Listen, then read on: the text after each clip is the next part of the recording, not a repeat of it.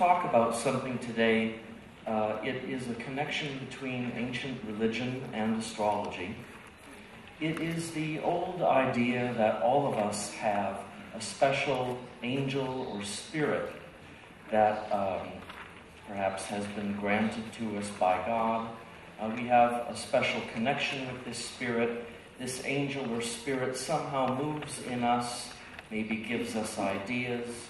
Um, and that this angel is also a special uh, way to connect with God and gain knowledge of who we are and who we ought to be and how we ought to live. Uh, one thing I will mention now, and we'll get back to it later, is there are many people on the planet. Do we all have our own individual angel? Or do many of us share, a, share in one angel of different types? We'll look at that idea a little later on. But the idea is that we all have a special spirit or angel that uh, says something important about who we are. And in order to be happy, we need to do what we can to connect with this spirit or angel. Um, now, we've all heard the story of Adam and Eve in the garden. And in the old story from the Hebrew Bible, uh, uh, Adam and Eve, or at least Eve, wanted to be wise, and they ate of the apple and they gained knowledge, and God got very angry and kicked them out of the garden. And so the idea here is that we were in a more beautiful, pure state but now we live in a more difficult state full of pain and tears. Well, Plato, the Greek philosopher, had some similar stories, but he connected them with the idea of this personal angel. The first version of the story is in a, a work of his called the Phaedrus. And in it, Plato says that before we were born, our souls were up in the heavens. And just as the heavens turn around every day, so our souls follow a particular sign in the heavens, a particular God associated with the signs. And we, in a sense, love this God and we want to be like this God. For example, maybe there is one of the gods is a God of wisdom, and so we love wisdom. Or one of the gods is a more Venus type God, um, and so we love certain things about that God. And before we are born, we can see the whole range of true reality. But, he says, as we're going along, our desires and our passions drag us down from the heavens onto earth. And although our soul struggles uh, we are dragged down to earth, and that is where we are born. And when that happens, he says, we forget who we were. So that when we live our lives, as we all do, we are living in a state of ignorance and forgetfulness. And our job, really, to be happy, is to understand who we are, where we came from, and what God or Spirit we are supposed to follow. But you notice that the important thing for Plato is that we ought to have knowledge. In the Adam and Eve story, God doesn't want us to have knowledge.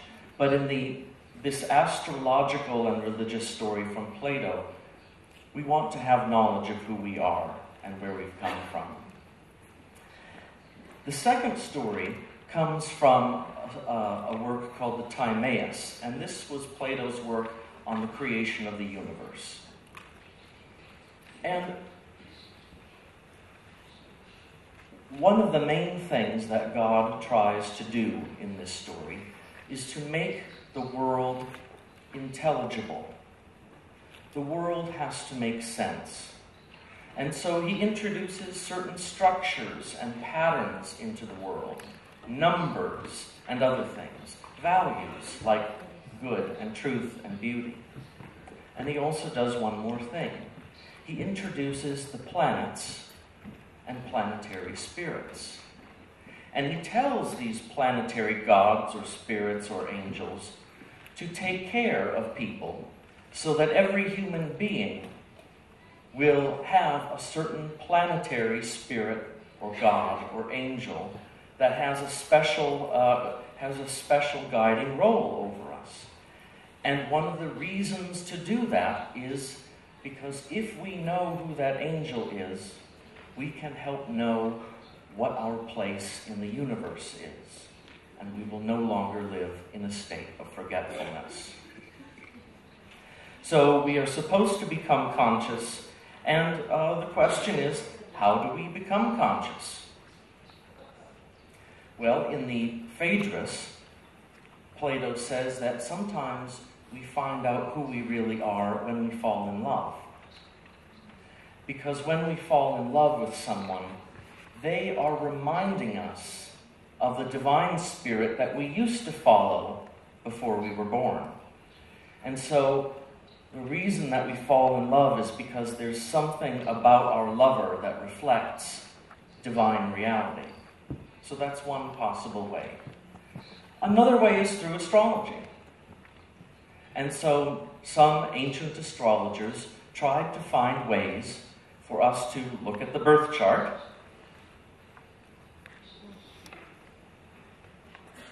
and find a way to identify our planetary spirit or angel.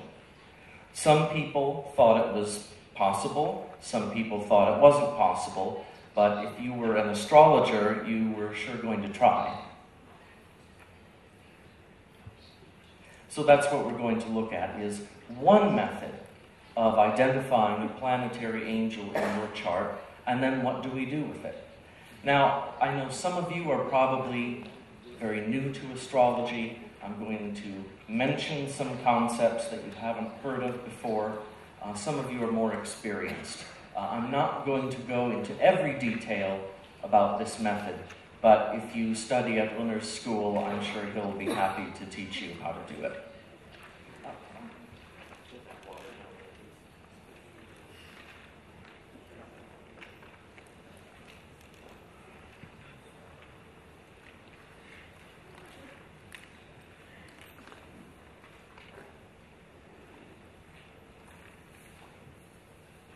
So let me go through this method. Uh, it's one method of finding the planetary angel. Uh, this is a method described by a man named Hermann of Carinthia. He lived in the 1100s AD. Uh, there were other methods. This, in a way, is his version of older methods. Now, what we're going to do is find out which planet in this person's chart has the most authority and is strongest and is best positioned to uh, indicate who this person really is and what will really make her happy. Now, remember I said, do we all have an individual angel or do we many of us share in a in one single angel? I'm going to suggest that we probably do each have our own angel. But even if we do, it's probably a version of a general angel of this planetary type. So when we find the planet, it's kind of like um, it's kind of like learning a telephone number. Now you have a telephone number you can call, but um, then you have to ask further when someone picks up uh, to, to see who you need to talk to. There were methods for using the birth chart to find the name of your angel. And then you would use prayer and meditation and other methods to communicate and uh, uh, to communicate with this angel. We'll talk a little bit about that in a few minutes. So let's take a look at this chart over here.